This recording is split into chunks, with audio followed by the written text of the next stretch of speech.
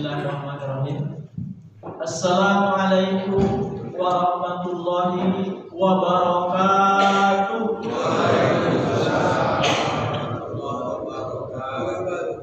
Bismillah, Alhamdulillah, wassalatu wassalamu ala rasulillah La hawla wa la quwwata illa billah Asyhadu an la ilaha illallah wahdahu la syarika Wa asyhadu anna Muhammadan wa rasuluh Puji dan syukur marilah kita panjatkan kehadiran Allah Subhanahu wa taala dengan berkat surat dan lah kita masih kesempatan oleh Allah untuk melaksanakan sebagian yang diperintahkannya yaitu melaksanakan ibadah sholat subuh berjamaah dan dilanjutkan dengan tadarus Al-Qur'an Karim. Mudah-mudahan aktivitas kita, harapan kita dicatat oleh Allah menjadi amalan solihah. Jangan lupa salawat kita salam semoga tercurah dan terlimpahkan kepada pimpinan alam Nabi yang mulia, Nabi akhirul zaman, Nabi Muhammad Sallallahu Alaihi Wasallam beserta keluarganya, para sahabat, para pengikut, para tabiin, mudah-mudahan kita masuk di dalamnya dan senantiasa mengikuti ajarannya sampai akhir zaman. Yang saya hormati Bapak Ketua DKM beserta jajarannya, yang saya hormati Bapak Ketua RW 13 beserta jajarannya, yang saya muliakan Bapak Haji Dodonas dan Adam yang saya hormati Bapak Ketua RT 1 sampai 7 dan jajarannya yang saya, yang saya cintai hadirin dan hadirat. Pada kesempatan yang berbahagia ini saya menyampaikan tentang sholat tahajud memberikan empat kemuliaan kita sering sholat tahajud kayak Alhamdulillah Alhamdulillah Sakapungnya banyak Kamu kurang ayat mana butuh Bang sholat tahajud Kamu kurang ayat mana butuh mah eh. Kamu ayatnya musik Sepak bola Ayat nonton bola mah Kita gitu ke sholat tahajud lah Tinggal Masuk itu Jadi mana-mana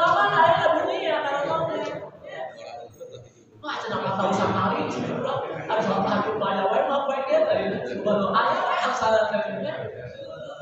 Sebaik-baik yang dijanjikan oleh Allah benar. Kalau saya yang berjanji, mungkin saya berikan. Tapi kalau Allah yang berjanji, mustahil diingkari. Kata Allah, kalau ada orang yang mengerjakan amalan sebelum tiba dipanggil, apalagi dia bangun terus sholat tahajud sebelum subuh, saya kata Allah berikan empat kemuliaan. Yang tidak pernah saya berikan kepada orang selainnya. Sekarang waktu sholat subuh jam 4 lewat 2 itu banyak sekitar jam 4 lewat 2 kerja tidurnya. Bukan Allah ya. Nah, kita bangun jam 3 melaksanakan sholat tahajud berapa rakaat sholat tahajud dah? Sebelasnya? Subhanallah. Atau tambahan ulah teh mah. Jeung sholat kita dua rakaat. Nah, sholat kita sholat pembuka sebelum melaksanakan sholat tahajud laksanakan sholat kita dua rakaat. Bacaannya sama. Begitu.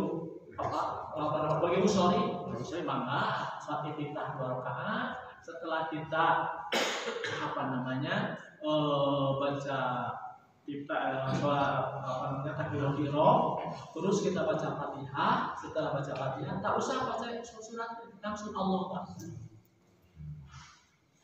Rokaat kedua salah gitu. Cuma ini ada sudut-sudut surat ketika surat pembuka.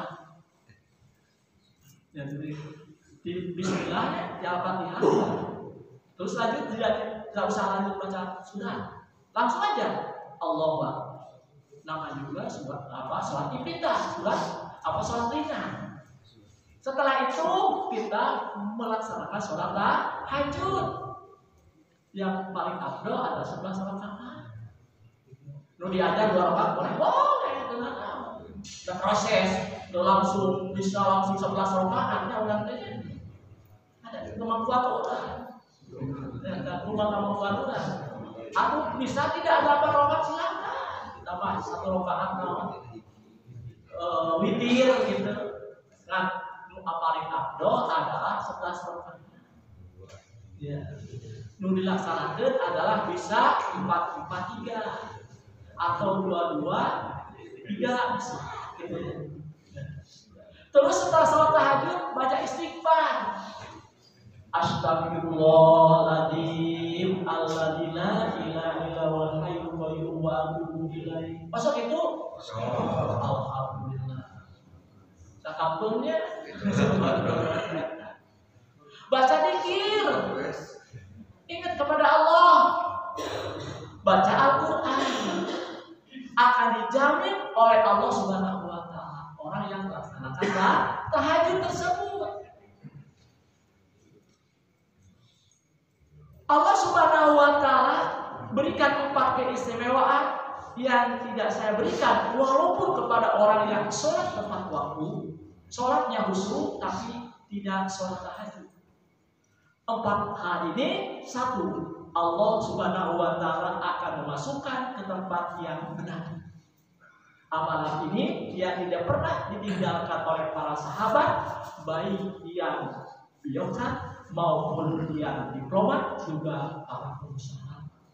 Ya rajin pengusaha diplomat semua rajin melaksanakan sholat tahajud.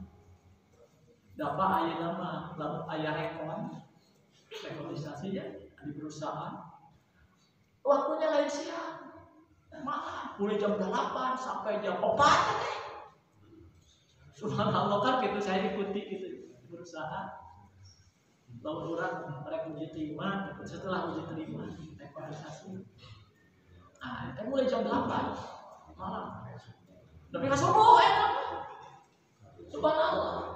Tapi pakai sholat tahajud gitu ya. Subhanallah luar biasa aja nah Allah subhanahu wa ta'ala berfirman A'udzu billahi minasyaitonir rajim wa minal laili fatahajjat bihi na bilatal laka asa ayam asaka rabbuka maqamam mahmuda. Wa minal dan pada sebagian malam pada hajat bersolat tahajud kamu sebagai suatu ibadah. Bihi nabilatal laka dengan sholat sunnah bagimu asa ayam asaka mudah-mudahan mengangkat kamu pramuka Tuhanmu maqam mahmuda ke tempat yang terpuji. Quran surat Al-Isra surat 17 ayat 79. Dan pada sebagian malam, yaitu pada sepertiga malam yang terakhir, bangunlah dan lakukanlah sholat tahajud sebagai suatu ibadah tambahan bagimu Wahai Nabi Muhammad SAW, mudah-mudahan Tuhan mengangkatmu ke tempat yang terpuji, di mana engkau memberikan syafaat agung kelak di hari kiamat. Patah hajat di antara sebagian malam sebelum subuh bangun menunaikan sholat tahajud. Kalau saudara menunaikan sholat tahajud, Kata Allah, saya berikan empat hal kata Allah. Asa ayam asa buka makoma mahmuda. Mudah-mudahan Tuhanmu mengangkatmu ke tempat yang terpuji. Orang yang rajin tahajud, maka karirnya akan saya angkat. Bagi orang yang masih bekerja, karirnya akan diangkat oleh Allah bagi pengusaha juga akan sukses melaksanakan sholat tahajud.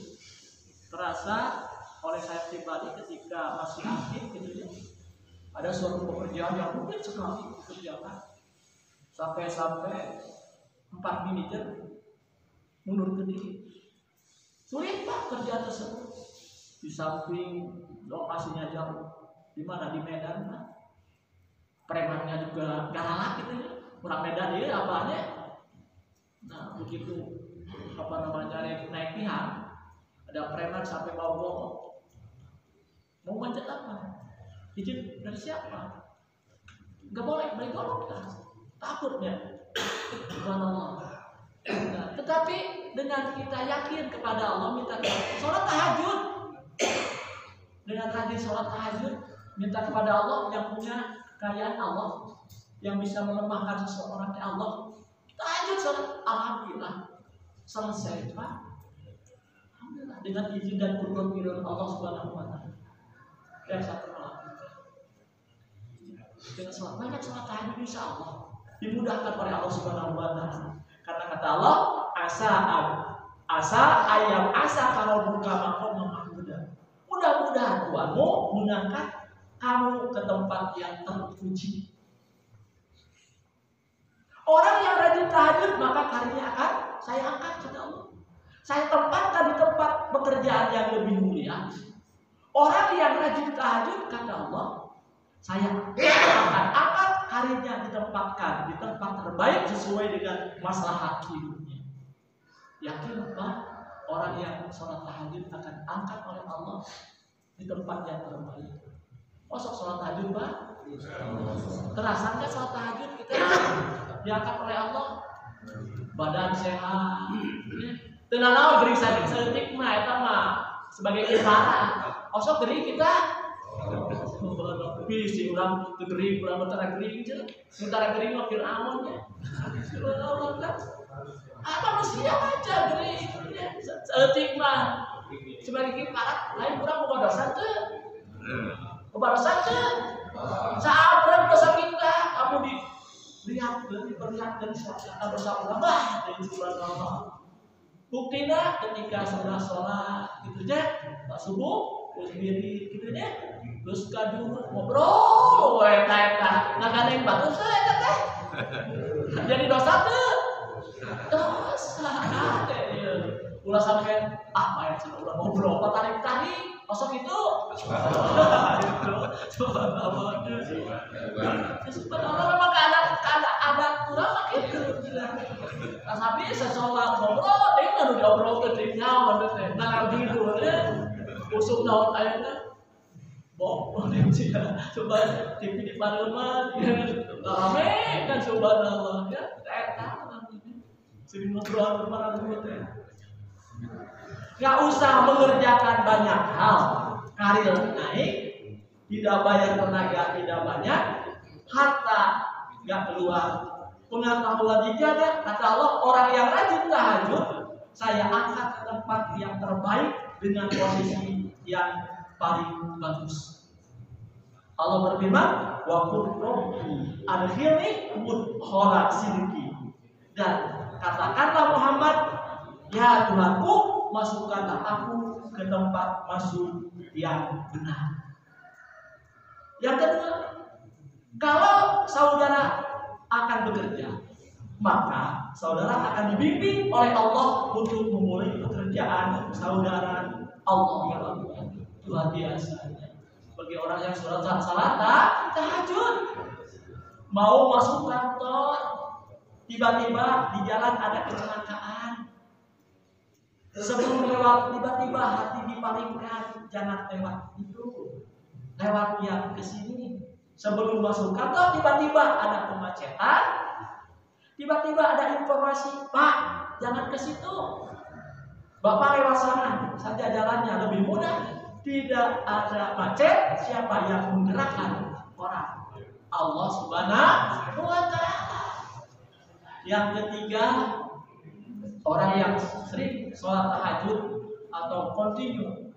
Ulang sholat tahajud yang sekali weh besok kan saat tahajud lagi gitu sudah tadi angkat terpuji. Teh teh karena sakit kali-kali lah sholat lah tidak kontinu masa kontinu sholat tahajud. Alhamdulillah. Yang kedua nah, yang ketiga. Yang ketiga bagi orang yang sholat tahajud Allah akan mengangkat wah rizki muhraja sedikit saudara punya kesulitan? Kita punya kesulitan banyak ya. langsung dibimbing oleh Allah keluar dari kesulitan itu. Subhanallah luar biasa ya. Bagi orang yang punya kesulitan melaksanakan sholat tahajud maka jalan keluar akan dibimbing oleh Allah subhanahu wa taala. Senang tuh senang tuh senang pak subhanallah. Saat usia terasa semakin tua banyak yang berkata nikmat hidup sudah dikurangi. Betul tidak bahu lama kahate dua piring baik akhirnya semua. Tilu yang tilu ya subhanallah tapi ini kita habis semakin semakin semakin gagal. Semakin koyo ari kahayang dan denya langsung deh tenaga. Ari ayam ka istri mah aya bisa di satunya. Itunya subhanallah ari tenaga kok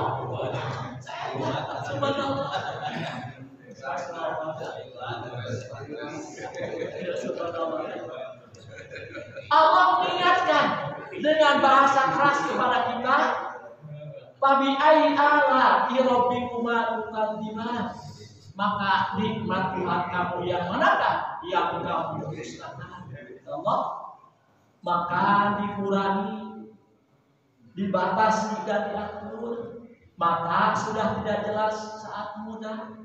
Bahkan tidur pun tidak bisa lama. Ke akhirnya orang makan dibatasi. Ya. Terus mata sudah dikurangi. Yang dikurangi bertambah namanya yang tadinya pakai tidak pakai kewer kacamata sekarang jadi berarti sudah dikurangi penjelasannya.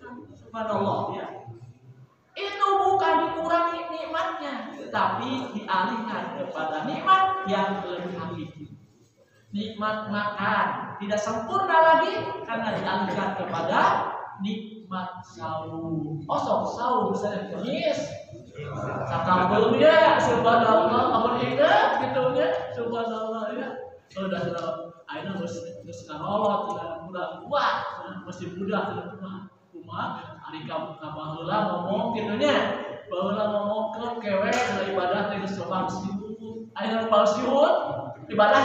Alhamdulillah. Nikmat.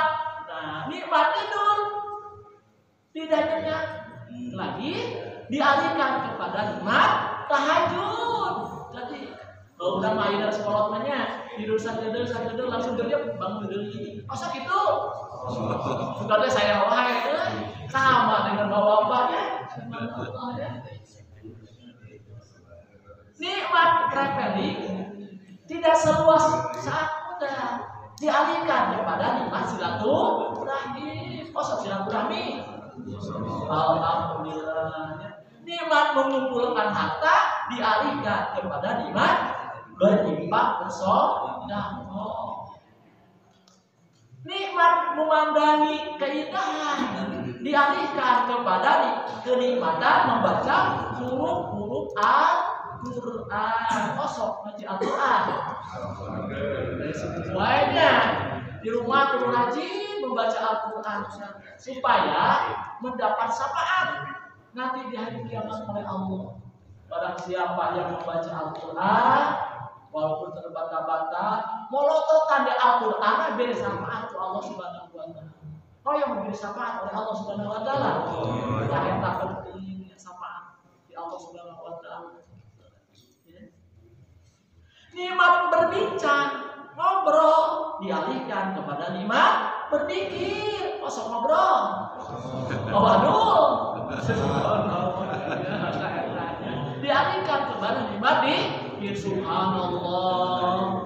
Alhamdulillah. Allahu Akbar. Apa saja? Subhanallah. Walhamdulillah. Wala ilaha illallah. Wallahu akbar. Oh sok masak itu di rumah? Sakapeng rajin ayo namanya. Ya, subhanallah. Walhamdulillah. Wala ilaha illallah. Wallahu akbar yang keempat ini yang hebat. Allah berfirman waj'ali min ladunka sultanan nasiro. Berikanlah kepadaku dari sisimu kekuasaan yang dapat menolongmu. Kalau pekerjaan anda di karir anda ada yang jahil ingin menyingkirkan anda menyungkurkan anda ingin bahkan minta maaf mencelakakan anda maka yang pertama menolong Allah langsung dia memberikan pertolongan tanpa perantara siapa pun ayat ini turun itu saat Nabi dikepung oleh 100 pemuda. Pasukan khusus dengan pedang terhunus. Yang kalau bahasa kita sekarang angkatan darat punya Kopassusnya, angkatan laut punya denjakannya, kemudian angkatan udara punya paskasnya, itu 100 orang pasukan khusus pedang terhunus kata sejarawan binatang lewat walaupun malah ketahuan. Ayat ini turun, apa yang terjadi? Allah cuma tiga orang. Nabi Sallallahu Alaihi Wasallam, Abu Bakar As-Siddiq, tiga Ali bin Abi Thalib. Kata Nabi pada Ali, Ali nih, pemuda taat rajin sholat malam dekat dengan Nabi, ketaatannya dari Nabi nggak pernah dibantah. Ali kamu tidur di tempat tidur saya. Tempat tidur sasaran 100 pemuda pedang terhunus taruhannya nyawa tapi Ali mengatakan ya Rasulullah siap bertaruh dengan nyawanya tidak pernah terdengar dalam kitab sejarah Ali protes Jangan saja ya Rasulullah Abu Bakar yang sudah dua adik itu. Abu Bakar temani saya hijrah. Siap ya Rasulullah. Saya temani hijrah. Siap ya Rasulullah. Begitu akan berangkat turun ayat tadi begitu turun wajah alni sultan nasiro ditambah sudah yasin didukung kemudian maaf pandangan mereka semua yang seratus orang tadi pemuda yang gagah berani dibuat satu oleh Allah Subhanahu wa taala. Nah. Walaupun dia membawa, membawa senjata yang luar biasa, kehendak Allah Subhanahu wa taala pemuda tersebut ngantuk seketika. Kalau dikasih ngantuk, siapa yang bisa ngantuk? Kita dikasih ngantuk, kita supir, dan supir, siapa yang bisa apa, memberikan nanti tersebut? Allah Subhanahu Siapa yang bisa mencegah nanti?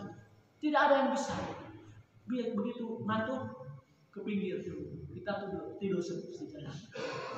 Tidak, apalagi sedang Jumat mendengarkan mati lupa karena tidak tahu tidak tahu karena kita pikiran kita itu banyak ngantuk nggak bisa tahan masa itu sedang Jumat yang paling nikmat, paling nikmat yang salah satu ketika Jumat ya, diberi ngantuk, oh itu bisa itu ditahan. Subhanallah ya. Ternyata pemuda tadi yang seseorang yang akan membunuh Nabi SAW dikasih ngantuk oleh Allah Subhanahu Semua ngantuk. Eh, keluarlah Nabi dengan itu tenang dengan Abu Bakar larilah dari sembunyian tersebut dari rumah tersebut yang ditiduri oleh Ali radhiyallahu anhu. Siapa yang melindungi? Allah Subhanahu wa taala dibebaskan bahkan dari jebakan-jebakan yang siap menyimpit. Apa amalan beliau? Sampai-sampai kemudian dijaga oleh Allah Subhanahu wa taala para ulama bukan sekedar beliau nabi tapi tingkat ketakwaannya kepada Allah begitu luar biasa. Rasulullah SAW ketika sholat tahajud sampai bengkak-bengkakan ini. Itu adalah Nabi yang dijamin oleh Allah Subhanahu Wa Taala masuk surga. Kita sebagai umatnya pernahkah bengkak-bengkak sholat tahajud? Pernahkah? Tidak pernah. Sudah kalau Rasulullah membaca ayat Al-Quran surat Al-Baqarah sampai tamat. Kita pernah surat Al-Baqarah karena sholat dan sholat tamat. Belum pernah Pak lamun ayah di masjid muhajirin bacakan surat yasin. Surat yasinnya subhanallah mesti besoknya mungkin tidak akan berjamaah di masjid muhajirin imam dari latih nah biasanya kalau ibu-ibu ketika sholat tarawih lamun imam dan latih sepi ciria ah ustaz kamu macam asapna rila ya mah ya sini ya tinggal jadwal teh sain aja imam maka jadi imam teh ulah dilatih cuma tapi secirian ibu-ibu. Sarua apa pakai sarua ada negeri itu planetna dilatih saya bayar kalau ke produksi masuk itu. Banyak teh cenanya teh tahu itu yang pendek gitu kena ulang tidak yang pendek lainnya itulah. Ketika lapar Nabi Muhammad SAW diganjar dengan bangku kalau kita kita lapar diganjar dengan bala-bala dan gehu ya. subhanallah kalau disebut apa setiap Sabtu, Sabtu Ahad, ayamnya makan ada halu, Nabi Muhammad tak ketika lapar tidak apa, apa ada makan di ganjar Muhammad atau saum. Oh sakit itu menurut Nabi Muhammad. Hari bala-bala wajib kayak. Karena kita sebagai umat beragama meyakini harta terbaik adalah kejujuran.